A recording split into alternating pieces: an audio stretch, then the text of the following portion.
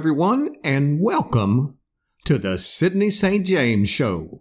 In episode 8, we're going to be discussing the making of the second novel in the Stormlord Trilogy series, a novel called Nine Months Will Tell.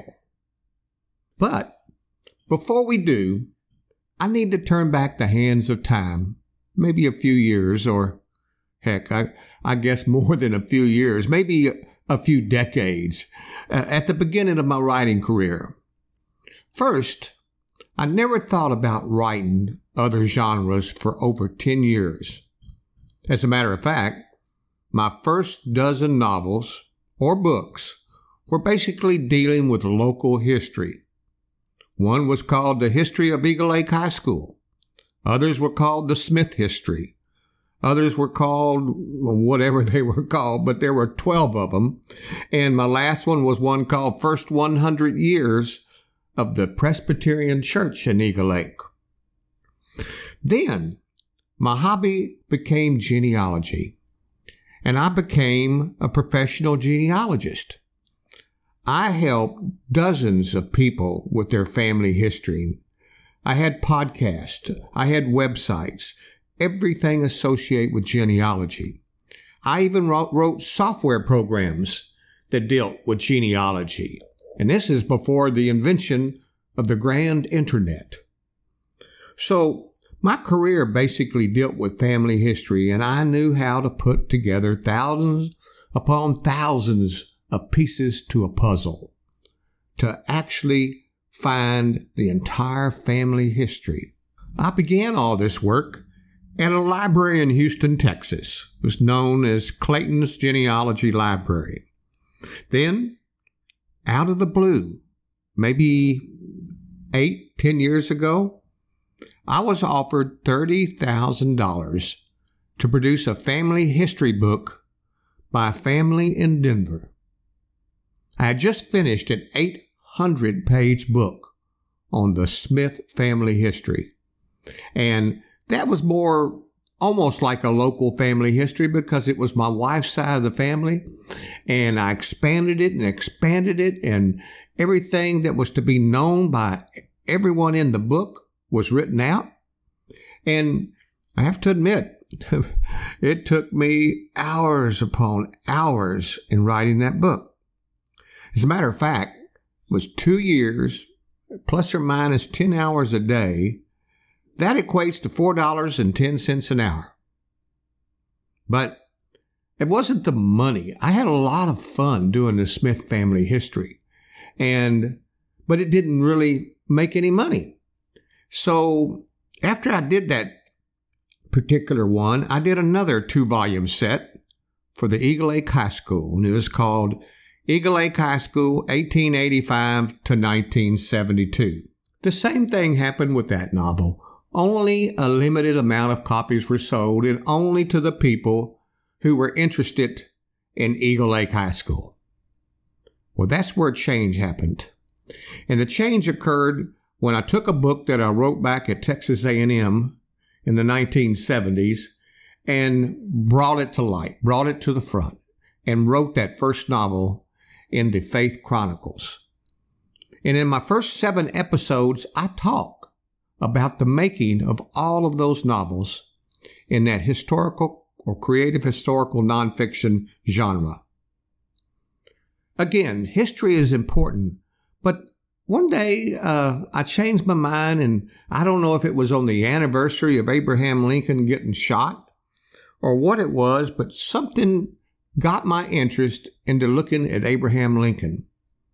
And when I did, I don't even remember this in my history classes at A&M or anywhere else. And I'm, I'm sure they probably taught this to me. And I'm sure that I, uh, the professor would not have left this out, but for whatever reason, it didn't cling in my memory. And that was there were several people along with John Wilkes Booth who was part of the overall conspiracy to assassinate Abraham Lincoln. So I became very interested in that. So what I ended up doing was, in the public domain was the entire court transcript of the trial of the suspected killers or conspirators, whatever you might want to call it. Uh, the, the entire trial transcript was laying in front of me because I printed the whole thing out. I started going through it and noticed there were several people involved in the plan to kill Abraham Lincoln. So, again, in the creative historical nonfiction, I broke all the people that went to court to be tried for that assassination into their own personal, separate novel. So we expand. Now, how do I expand? With the techniques I learned in genealogy. I found out who they were. I went to their towns. I found out information on them, uh, where their parents were born and raised and where they were buried, what cemeteries. I started put all the pieces together so I could build each one of those characters. Then, when I wrote the book, and this is one of those six in the Abraham Lincoln assassination series called Mary Elizabeth Surratt. On one of the anniversaries of the assassination of Abraham Lincoln, a book, another book was released, and books will stand a hundred feet high on top of one another that's written about the Lincoln assassination. So my book is just one of thousands probably, but I found out that a lot of people uh, she was hung, by the way, Mary Elizabeth Surratt, and she was hung because she was part of this conspiracy. Well, that really got fuel for thought for me. So when I wrote those books, in particular Mary Elizabeth Surratt, my intention was to let my readers read the book in a creative historical nonfiction sort of way and make their own determination. Was she guilty or was she not? And I won't talk too much more about that. You'll just have to read the book or the whole series and get an idea of what I'm talking about. So anyhow, after I finished those six novels, uh, my daughter wrote uh, an erotica romance. Of course, I didn't know much about erotica romance. I thought romance was romance. so I kind of wanted to change the genre that I wrote in. So I read the first chapter. I looked over at my wife and I said, Ooh, man, that's a steamy novel, honey. And she looked at me and she said, What page are you on? Uh, page 18. And she started laughing. she, she started laughing and said, Wait a minute. You read the first 18 pages of the book and you're ready to put it down because it's too steamy. Um, I think you need to put it down because the first 18 pages aren't steamy. It's the last 225. But so anyhow, I decided I was going to write a romance novel. And in that romance novel, I wanted it to be romance, but maybe, I don't know how you put it, uh, maybe romance with a gentle touch. Maybe romance with style, um, classy, but not too descriptive, but not too non-descriptive. So the Stormlord trilogy, in which you heard in the last episode, um, in the Flaming Blue Sword, that has some pretty steamy romance in it, I have to admit. At least I think it's steamy. but then the second novel continues that series. And uh, I, would like to kind of start off by the making of this novel by saying what basically was one of the first paragraphs as we continue in to novel two from the novel. Though the sunset was illuminating the horizon, the pathway through the tall woods behind the cottage was still dark. The tall aspen stood as if charcoal against the deep blue skies from the setting sun. The only color left was the orange pouring across the skyline to the west over the Pacific Ocean. Angel slung the large flaming blue sword over her shoulder and walked, not looking at the danger ahead, only at the rain sodden path along the cliff, treacherous with slippery mud. My continuation now of the Stormlord trilogy in chapter 2, book 2, Nine Months Will Tell, finds our character Angelica Thompson and Sheriff Kevin Connors expecting their first child. Her pregnancy comes as a surprise to her and Kevin because it is precisely nine months after their defeat of Ethan Knight in Chapter 1 of the Stormlord Trilogy series. The question now that arises for the two lovebirds is whether the Stormlord lost his life in their final battle in the first of the series, or did he somehow miraculously survive the epic encounter. Throughout the book, significant events taking place appear to threaten the life of Angel's first child. Was she too old, past the age of 39, to, to give birth? She wondered if it, if it was just her age. Was there a problem with her child? Angel doesn't want to know if it's a boy or a girl. She's ready to have the child naturally and gets closer to her full term, but wonders if that will be such a good idea. The expecting mother lives with pain after pain day in and day out. She experiences dreams that are, once again, so real she could never get more than an hour or two each night of sleep. Angels appear in her dreams. Demons appear in her dreams. And death appears in her dreams. Have you heard about Anchor.fm by Spotify? It's the easiest way to make a podcast with everything you need all in one place. Yep, Anchor has the tools that will allow you to record and edit your podcast right from your phone or your computer. And best of all, Anchor is totally free. Download the Anchor app or go to anchor.fm to get started. It was in the last two weeks of her pregnancy she realized her child's life was threatened by outside forces. Has the storm lord returned to her dreams? But, but wait. Is he real? Who did she and Kevin kill in their first encounter if it wasn't the storm lord? In the first book, Angel and Kevin began their life together just like any storybook fable.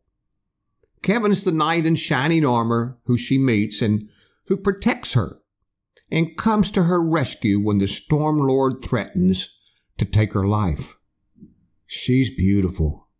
Long, flowing auburn hair that crowned her head to the middle of her back.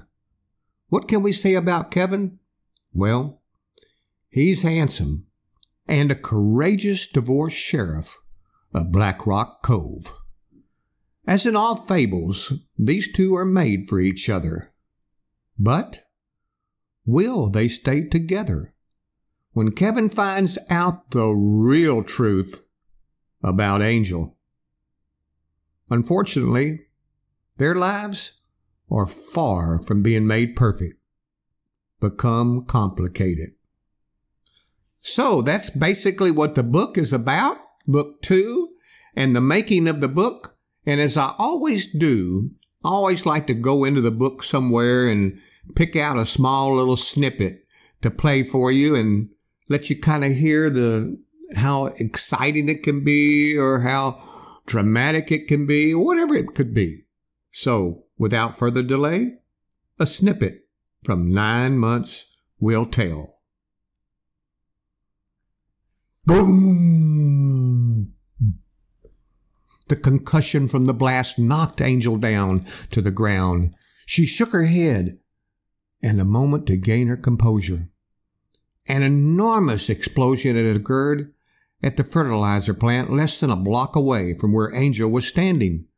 It was so large, the concussion that knocked Angel down found her dizzily making it back up to her feet. She shook her head a few times, pushed herself back up, still not believing what in the hell just happened. She glanced back at the large building. It was as though a fist of orange flame had decided to punch its way out of the top of the roof. Windows shattered. Smoke and fire rushed out of every nook and cranny it could find. Thousands of pieces of glass and steel, a deadly rainfall, showered down all around the downtown square. Car alarms wailed chaotically up and down the street. The situation was absolutely total chaos. A huge tree stood in the center of town square, one that Angel had sat under during early fall to read a novel. She can't help but remember with her arms outstretched that she would never be able to reach a fraction of the way around that gnarly bark trunk.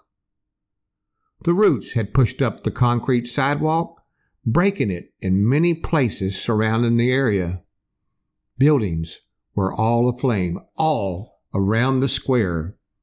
Then, without any warning, while continuing to search for Kevin, she stopped, squinted her eyes in the direction of that tree, and said, No, no, oh, for God's sake, don't let this be happening. Dread owned Angel. It pushed against her like an invisible gale. Her vision and fear had her stomach locked up tight. Her face was set like rigor mortis, her teeth locked tightly together.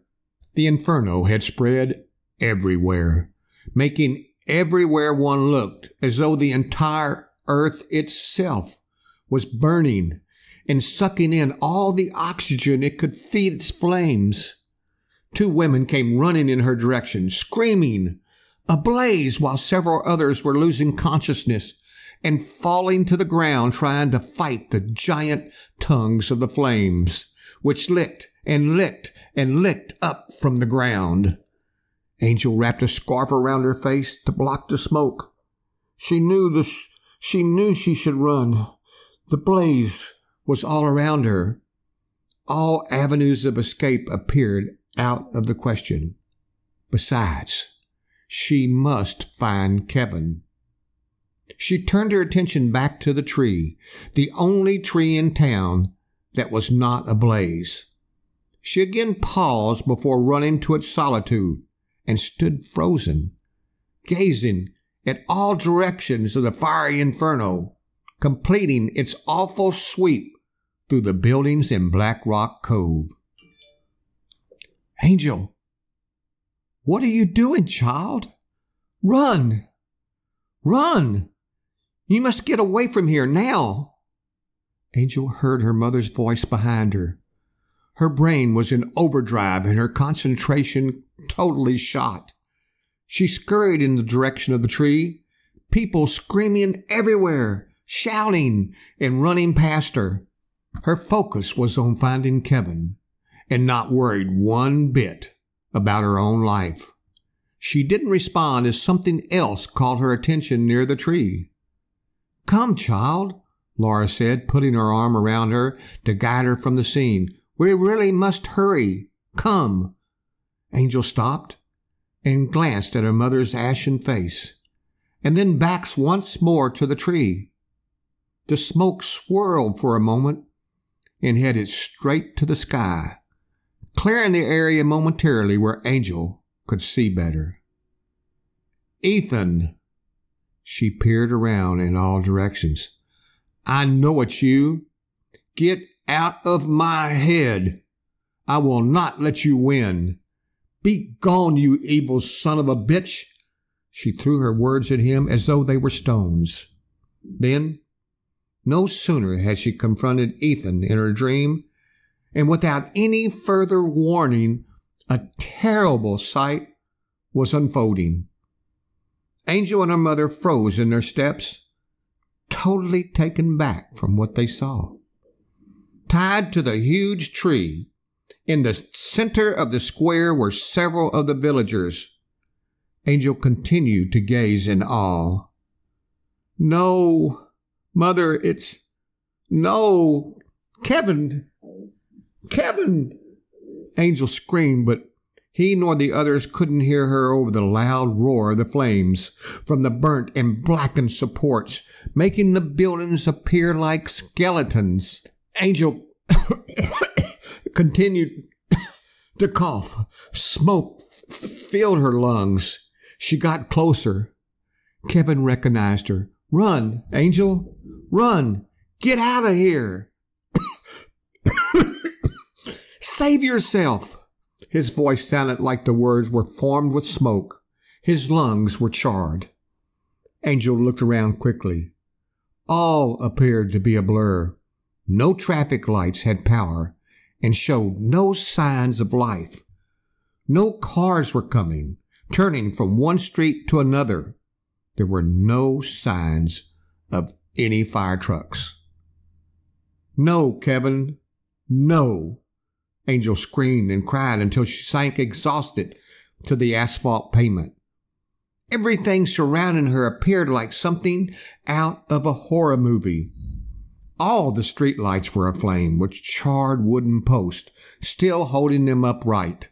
Angel, up on her knees, was frozen, unable to believe what her senses were telling her. She was overwhelmed by the smoke.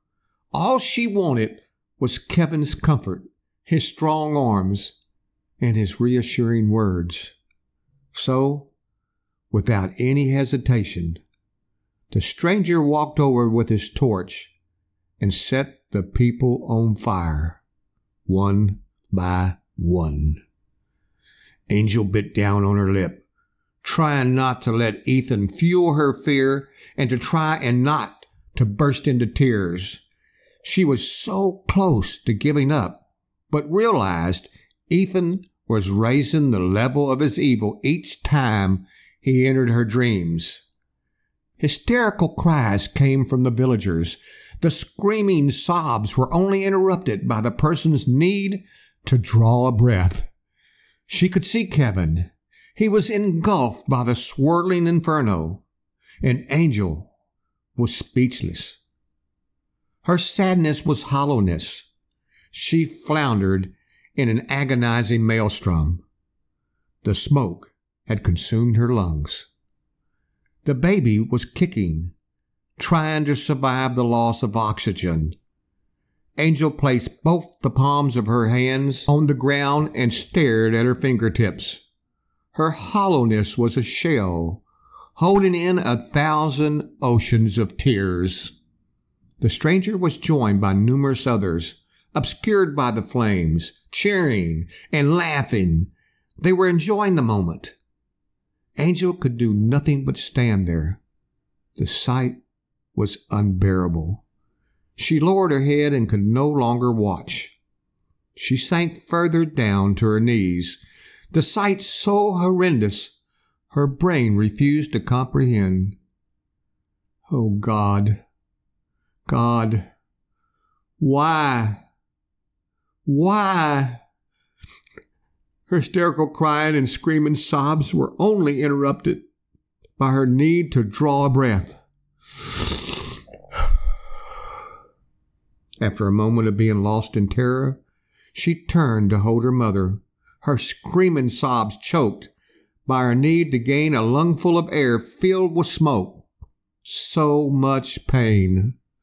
Mother, Mother.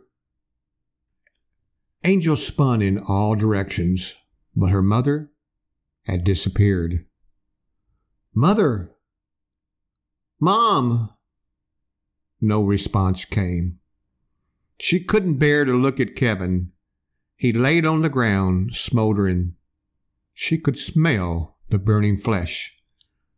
The sadness the pain comes close to the surface of her skin and her empathy was triggered. Angel couldn't choose to walk away, or she would surely get a kick of guilt as punishment. So, Angel gasped for air again. She couldn't get up. The tugging on her soul by Ethan and his foul deeds wore on her. She laid in pain. She could feel him pulsing in her mind, trying to pull her soul into his deadly trap. Her mind's thoughts rambled. Oh, God. God, please help me. Is this how I will find my end? Is this how others before me have found theirs? She found it difficult to hold back her emotional collapse. Ethan's words found a place in Angel's nighttime. oh, lassie. He paused a moment while he began to laugh. You can't imagine how bad I want to take your life right now. But someone else wants that job even more than me. Angel was more confused than ever. She tried to look around in all directions but her insides hurt from the baby kicking, almost ready to get out. And she said to herself, Is there someone else nearby? Why haven't they already done their foul deed? She lifted her head and glanced about the entire area, both of her arms around the baby, trying to comfort her from pain. Her vision was blurred, but she saw a tall man with a black cloak, disappearing into the thickened smoke. Well, that's another episode. You'll have to get the book if you want to see what happens after that.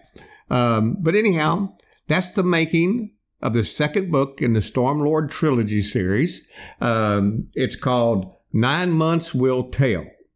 And in our next episode will be the conclusion of the Stormlord trilogy series, and it's like 400 pages, and it's probably the most exciting conclusion of any of my books written so far. You don't want to miss it. The Making, the Three Keys to Armageddon. Till we meet again, from Sidney St. James, happy listening.